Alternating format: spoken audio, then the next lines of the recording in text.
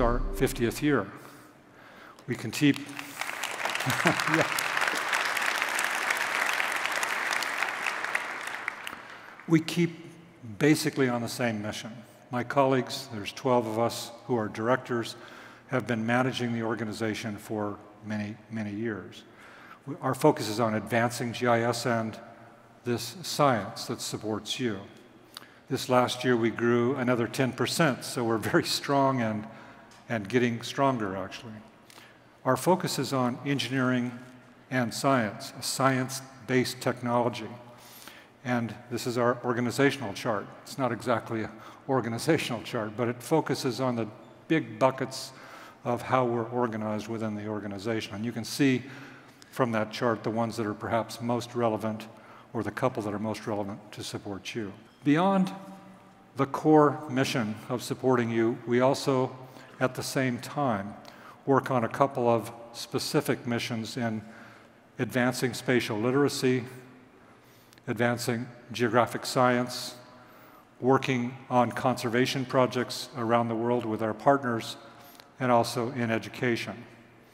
And us together with you have intention about collaborating in not only your mission, but other, other missions that make a difference. A lot of our work is also spent on professional development.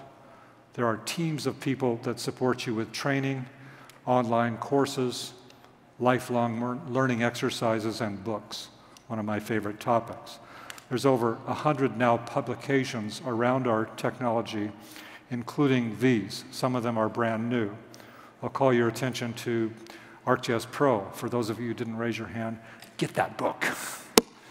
or uh, imagery, or human geography, or WebGIS, or an old friend of ours, Martin O'Malley from Maryland, is part, publishing a new book called Smarter Government. We spend a lot of time thinking about how can we help you learn in a continuous way. And some of those sessions are with big exercises like MOOCs, but increasingly you'll see snippets of learning in learn lessons that are really traveling actually with the product. Esri is strong, but while we're a billion dollar company, we have several thousand partners who represent about $20 billion of work around our core product. And many of them are here. And I want to say thank you to our partners because, like ourselves, they're very committed to your success. They're being entrepreneurial, little companies, startups, and large anchors like IBM and Microsoft have worked with us closely over many years. We also enjoy a series of special relationships. People like NatureServe or the Nature Conservancy or Jane Goodall or the National Geographic Society. Particularly, the National Geographic Society is pioneering education and conservation on the planet on many fronts. This year, we're launching a new effort, and I'm very pleased to announce it for the very first time. Some of you know E.O. Wilson. Any of you know E.O. Wilson? Amazing guy, world's leading biologist. He wrote a book a couple years ago called Half Earth. This, this is a vision of being able to conserve the rich biodiverse areas that are left. He calls it half of the earth. And the question is, which half?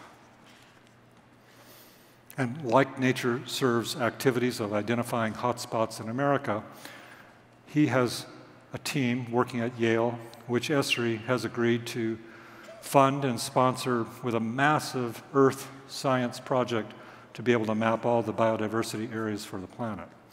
This, in, this information, thank you. This, this will take us five years. It's going to involve some of the leading Earth science and data science people on the planet, but that information will become all available to you and the rest of the world for, for driving a better future. In the world of education, we continue to push hard on K through 12 programs. Between September of last year and December, over 3.4 million kids took lessons with ArcGIS Online. This is in the United States only. This is building another generation of people who are people who are young people who are spatially literate. And I want to say thanks to many of you here in the room, educators, but also just GIS professionals who volunteered to be geomentors to take these young people underhand and teach them what you, what you know, and, uh, and it makes a huge difference. Look, um, as I started off, our nation is facing many challenges, some of them very sobering. And your work, a fresh light, a fresh face, applying GIS, what you're already doing, my sense of it, and I, I travel a lot, I see a lot, my sense of it is you're making a huge difference, both within your organization, but also collaboratively working together to build a better future. The challenge is integrating this work, and this is less technical now than it is sociological and psychological and political, um, collaborating and sharing and creating this kind of infrastructure vision. This vision will interconnect not only the content, but also interconnect processes and information and workflow. This is what I think we need. We need more understanding, don't we? More collaboration to address these gigantic problems. Transforming our own individual work in our agencies and creating a kind of GIS at scale. It's the same concepts that you love the idea of integration and collaboration on your workstation or in your agency, but this is moving up the bar a little bit higher. Realizing this requires more than technology. I mean, I love technology, as you know. I live it. But now we're talking about spaces that are way beyond technology, stuff I know less about. But some of you know a lot about it. It's going to require leadership by you and your colleagues. This isn't sort of like the big boys on top or big girls on top. It means leadership where you're at and strategy and a kind of culture of collaboration.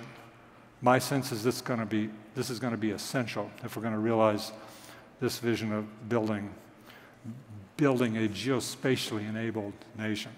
So, ladies and gentlemen, thank you very much.